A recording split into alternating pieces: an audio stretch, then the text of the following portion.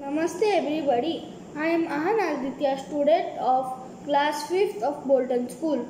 Dear friends, we all know that the whole world is suffering from the severe pandemic of coronavirus and our country is also attacked by the virus.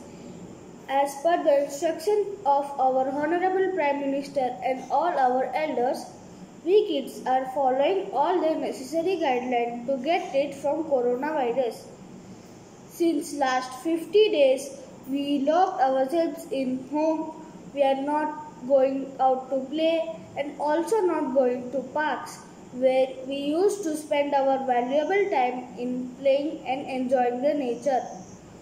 We are missing all those beautiful flowers and butterflies.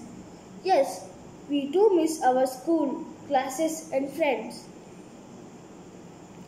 I am feeling very sad that in spite of our huge sacrifice coronavirus is not leaving our country.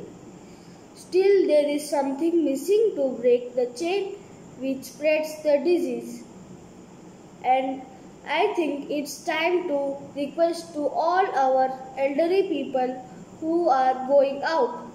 Yes, once again, I would like to request all to follow strictly government guidelines so that again we can get rid from the coronavirus and start playing in parks, going to school and and live a normally and happy life.